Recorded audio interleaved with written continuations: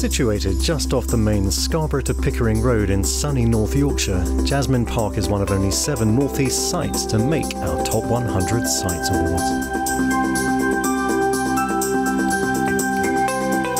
It's a peaceful and friendly site, perfectly placed for exploring the North Yorkshire moors and the wild, sandy coastline to the east.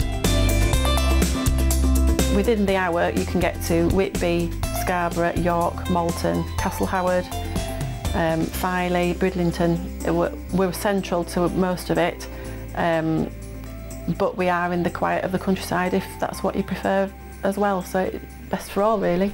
And while it's a great place for getting out and about, the facilities in the park are pretty good too.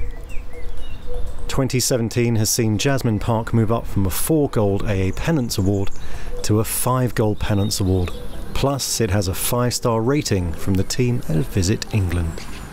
There are 64 touring pitches on the site, all hardstanding and all superior pitches, which means there's mains hookup, a TV point, running water and grey water disposal, all within easy reach.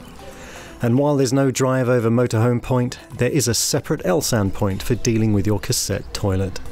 During the summer, these pitches do get booked up well in advance, but it's always worth a call to check availability. But it's not just tourers on site a couple of static caravans are available for hire, so non touring friends can come and join you. They have clean, modern interiors and well equipped kitchens, and there's even a fire if the Yorkshire evenings get a little too chilly. There's plenty to keep children occupied too, from a football pitch to a neatly segregated play area with swings and a climbing frame, nicely surrounded by a noise baffling hedge.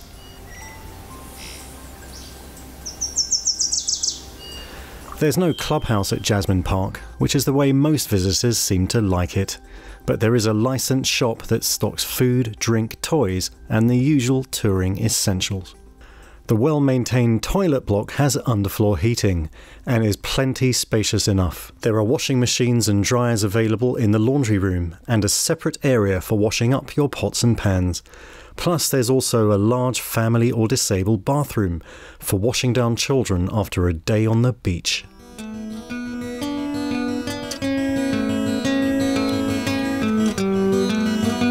Talking of beaches, Scarborough may be the obvious choice, but there are plenty of other more secluded beaches along this stretch of coast.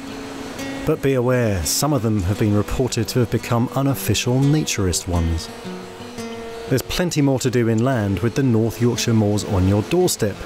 Dalby Forest Visitor Centre just 10 miles away, and the small family run Thornton-le-Dale Motor Museum just a 12 minute drive.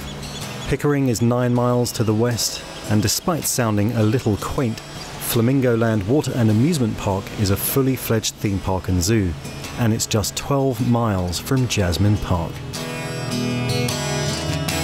Public transport links are available from the site, but they do involve a 20 minute walk or a short car journey. There's a bus stop up in the village in Snainton. There's a 1 to 8 service there that goes every hour from Scarborough, which is about 20 minutes away, all the way along the A170 to Helmsley.